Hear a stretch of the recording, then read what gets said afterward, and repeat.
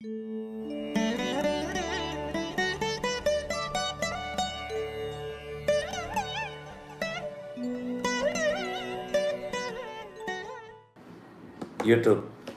நண்பர்களுக்கு வாழ்த்துக்கள். எல்லோரும் நன்றாக இருப்பீர்கள். நிரோஜன் தானேஸ்வரன் சூரியனுடனும் சனியுடனும் சேர்ந்த புதனின் நிலை என்ன? இருவருமே நண்பர்கள் அல்லவா? ஆமாம் ஆனால் சூரியன் சனி நமக்குள் அவங்களுக்குள்ள பகை இல்லையா? அவர்களுக்குள் பகை. இங்கே புதன் என்ன செய்வார்? எப்படி நடந்து கொள்வார்னு கேட்குறீங்க உதாரணமாக மிதுன லக்னத்திற்கு எட்டில் உள்ள புதன் சூரியன் சனி சேர்க்கை.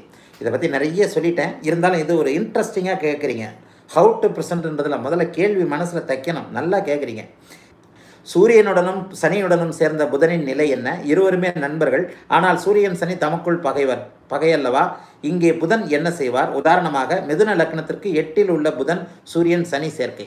இங்கே பாருங்க. எட்டில் சூரியன் புதன் புதாதித்ய யோகமாக சொல்லப்படுகிறது. இங்கே நீங்கள் கேட்ட கேள்வி ஒரு நல்ல கேள்வி.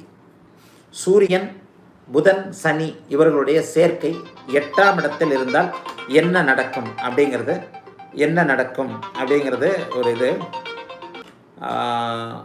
எட்டில் இருக்கின்ற சூரியன் புதன் மிதுன லக்னத்திற்கு. இந்த எட்டில் பு சூரியன் புதன் புதாதித்ய சேர்க்கை.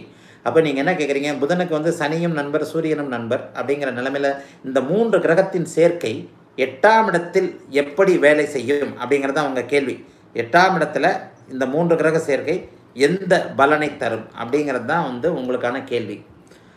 இங்கே அதற்காகத்தான் முதன்மை நண்பர் இரண்டாவது நண்பர்லாம் சொல்லப்பட்டது. கிரகங்களுடைய பகை உறவுகளை இங்கே நீங்கள் தெளிவாக புரிந்து வைத்துக் கொள்ள வேண்டும். எப்போது கூட்டு கிரக சேர்க்கையில் பலன் எடுக்க போறீங்களோ அப்போ வந்து கிரகங்களுடைய பகை உறவு நட்பு அந்த வீடுகளுடைய அத்தனை விஷயத்தையும் கரைச்சி குடிச்சிருக்கணும் நீங்கள் இப்போ இதில் வேற நீங்கள் ரெண்டு பேருமே ப நண்பர்கள்னு சொல்லிட்டீங்களே அப்படி நான் சொல்லவே இல்லையே. எந்த இடத்துலையும் நான் சொல்லவே இல்லையே. ஒரு சாதாரண விஷயத்தை விளக்கும் போது கூட சூரியனுக்கு இது புதனுக்கு சனி நண்பர் சூரியன் நண்பர்லாம் சொல்லியிருக்கிறேன் இல்லை. அங்கே ஒரு வார்த்தையை நான் சொருகுவேன் அப்படியே கொண்டு வந்து. புதனின் முதன்மை நண்பர் சூரியன்னு சொல்லுவேன். அதை எங்கேயாவது கவனிச்சிருக்கிறீங்களா? அப்படி நீங்கள் அதை கவனிச்சிருந்தீங்கன்னா நிரோஜன் இந்த சனி சனியும் சூரியனும் நண்பர்கள் அல்லவா? அப்படிங்கிற கேள்வி நீங்கள் என்கிட்ட கேட்டே இருக்க மாட்டீங்க. எத் எந்த ஒரு விஷயமா இருந்தாலும் மேலோட்டமாக சொல்லாமல் அதிலே ஒரு வார்த்தைகளால் உங்களுக்கு நான் புரிய வைக்கிறேன். புதனின் முதன்மை நண்பர் சூரியன் இரண்டாம் நிலை நண்பர் சுக்கிரனும் சனியும். இதுதான் உண்மை. அதிலும் சுக்கிரன் அதன் பிறகுதான் சனி. அப்படித்தான் வரும்.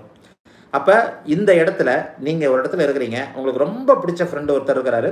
சும்மா ஒரு ஃப்ரெண்டு இருக்கிறார். ரெண்டு பேருமே ஃப்ரெண்டு தான். ரொம்ப பிடிச்ச ஃப்ரெண்டு இன்னொரு ஃப்ரெண்டு இப்போ இந்த ரொம்ப யாருக்கு அதிக முக்கியத்துவம் கொடுப்பீங்க? ரொம்ப பிடித்த நண்பருக்கு தான் நீங்கள் அதிக முக்கியத்துவம் கொடுப்பீங்க. அது அடுத்த நண்பரை வந்து ரெண்டாவது நிலையாக தான் ஒரு பந்தியில் கவனிக்கும் போது கூட முதல்ல யாருக்கு சாம்பார் ஊற்றுவீங்க ரெண்டு பக்கத்தில் பக்கத்தில் ரெண்டு ஃப்ரெண்டு உட்காந்துருக்குறாங்க ஒருத்தரை ரொம்ப பிடிக்கும். யூ லவ் அந்த நண்பரை நல்லா நேசிக்கிறீங்க. இன்னொருத்தர் நண்பர் தான். ஆனால் யாருக்கு முதல்ல சாம்பார் ஊற்றுவீங்க உங்களை அறியாமே முதன்மை நண்பருக்கு தாங்க சாம்பார் ஊற்றுவீங்க அந்த அமைப்பில் இங்கே சூரியன் புதன் சனி சேர்க்கை இருந்தாலும் புதனின் நிலையில் வந்து அவர் சூரியனோட தான் ஒட்டுவார். இங்கே ஆனால் சூரியன் வலுவாக இருக்கிறாரா சனி வலுவாக இருக்கிறாரா அப்படின்னு நீங்கள் பார்த்துட்டிங்கன்னா அது சனியின் வீடு. சனி தான் இங்கே அது சனியின் சர வீடு வேற. அப்போ அந்த சனியின் சர வீட்டில் சூரியன் தன்னுடைய பலத்தை இழந்திருக்கிறார். கிரக கிரகச்சேர்க்கைன்னு நீங்கள் எடுத்துக்கிட்டிங்கன்னா ஒரு கிரகச்சேர்க்கை அப்போ இந்த இடத்துல நீங்கள் என்ன பார்க்கணும்னா எட்டாம் இடத்தில் புதாதித்ய யோகம்னு சொல்லப்படுகிறது. ஒன்று நான்கு எட்டில். அது ஒரு வகையில் உண்மைதான்.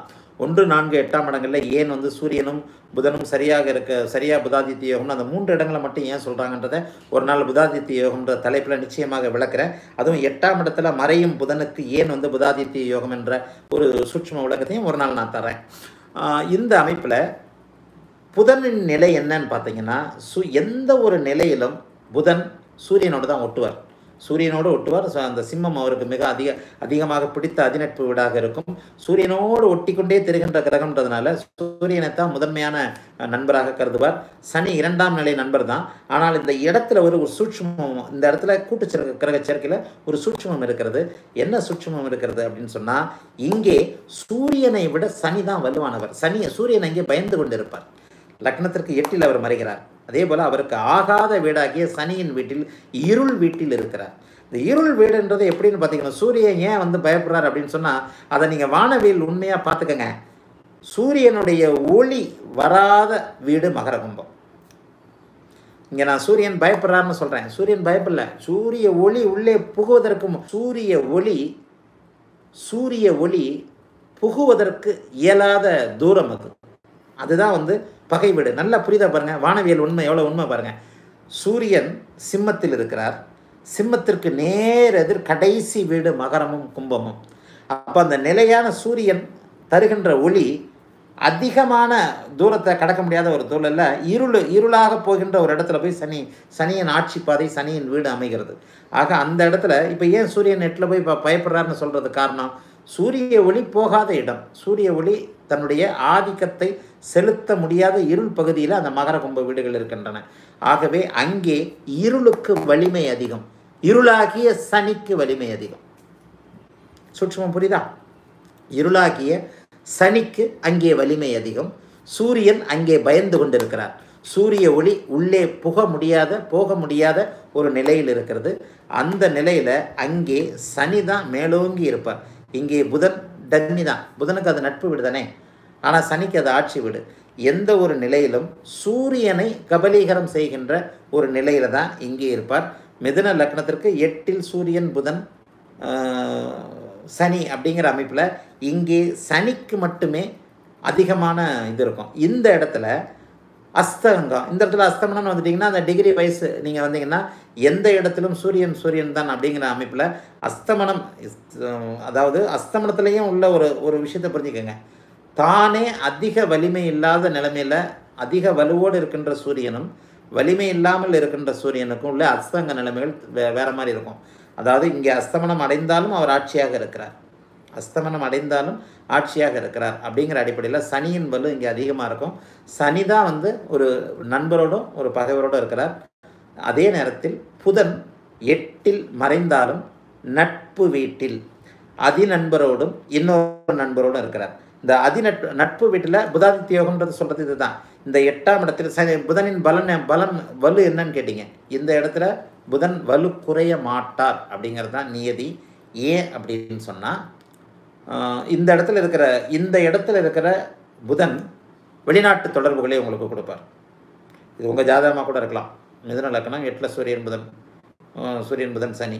இங்கே எட்டாம் இடத்தில் புதன் புதாதித்ய யோகத்தோடு அமர்ந்து ஜோதிடம் வானவியல் கணிதம் சாஃப்ட்வேர் கணக்கு அக்கௌண்ட்டு அத்தனை விஷயங்களையும் உங்களுக்கு கரைச்சி குடிக்க வச்சு நிரோஜன் இது உங்கள் ஜாதகமாக கூட இருக்கலாம். ஞானத்தையும் கொடுக்க வைத்து. ஞானம் மறைபொருள் சாஸ்திரம். எட்டாம் இடத்துல போயிட்டு லக்னாதிபதி உட்காந்தா என்ன தெரியுங்களா? ம மறைபொருள் சாஸ்திரம். அறியாத விஷயங்கள் அத்தனையும் வந்து தெரிய வைக்கிறது. ஏன்னு கற்றுக்கிறது எப்படி தான் இப்போ இந்த சனியின் இந்த விஷயத்தினால சென்ற பிரிவையில் எப்படி இருந்தால் அது எப்படி இருந்தால் அந்த இது எப்படி எப்படி இருக்கும்? தெரியாத விஷயம் மற்றவர்களுக்கு தெரியாத விஷயத்தெல்லாம் நான் கண்டுபிடிக்கணும் அப்படின்ற மறைபொருள் விஷயங்களும் இங்கே எட்டாம் இடத்துல உண்டு. ஆக எட்டாம் இடத்தில் இங்கே புதன் வலுவாக இருக்கிறார். அவருக்கு வீடு கொடுத்தவர். எப்போவுமே ஒரு இடத்துக்கு ஒரு கிரகத்தை வந்ததுனால நான் வீடு கொடுத்தவரை எடுத்துருவேன். வீடு கொடுத்த சனி வந்து சர அது சரவீடாகி சரவீட்டில் இருக்கின்ற கிரகங்கள் வலுவானவை அப்படிங்கிற தத்துவத்தில் எட்டாம் இடத்தின் சுபத்துவ அமைப்புகளில் எட்டாம் இடத்தின் நல்ல அமைப்புகளில் அந்த ப- புதன் வந்து செய்வார். ஏன்னா அவருக்கு வீடு கொடுத்தவர் ஆட்சியாக இருக்கிறார். அவர் அங்கே இரண்டு நண்பர்களோட ரொம்ப ஜாலியாக ஜல்சாவாக இருக்கிறார். ஒரு பக்கம் ஒரு தோல் அகைப்பட்டால் ரொம்ப உயிர் நண்பர் சூரியன் இன்னொரு பக்கம் தோல் அகைப்பட்டால் உயிர் நண்பர் புதன். ஆகவே இந்த இடத்தில் இருக்கும் புதனை நீங்கள் கெட்டுவிட்டார் பலவீனமாகிவிட்டார் விட்டார் என்று எடுக்கவே கூடாது. எட்டாம் வீட்டின் சுப ஆதிபத்திய விஷயங்களை கிட்டத்தட்ட ஒரு எண்பது சதவிகிதமும் எட்டாம் இடத்தின் பாவ ஆதிபத்தியங்களான கடன் நோய் எதிரி போன்ற விஷயங்கள் அசிங்கம் கேவலம் மம்பு வழக்கு விபத்து இந்த விஷயங்களை ஒரு இருபது சதவிகிதமும் எட்டாம் அதிபதி பாவராகி அங்கேயே ஆட்சியானார் அப்படிங்கிற அமைப்பினால இந்த இடத்துல புதன் செய்வார். ஓ ஆகவே புதனுடைய வலு என்பது இங்கே அறிவு சார்ந்த விஷயங்களில் ரொம்ப யோகமாகவும் மற்ற மற்ற விஷயங்களில் ஒரு இருபது சதவீதம் குறைவாகவும் இருக்கும். வாழ்த்துக்கள். எல்லோரும் நன்றாக இருப்பீர்கள்.